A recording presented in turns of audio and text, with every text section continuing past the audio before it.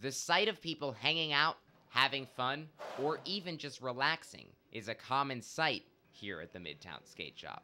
The skate shop, which is located in the heart of Midtown, was opened almost eight weeks ago after longtime skater Hunter Dempster began thinking of ways he could give back to the sport. So I was just thinking of what else I could do.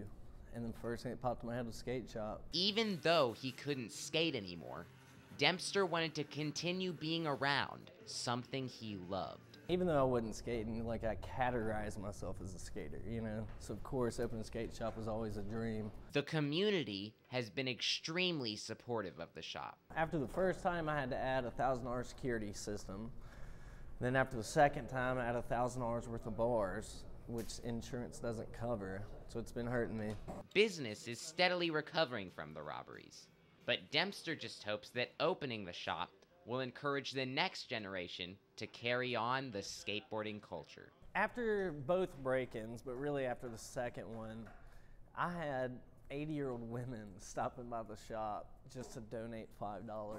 People that you'd never dream of even think of skateboarding. People that said they didn't even know what a skate shop was and they were wondering where people got their boards have come in and supported.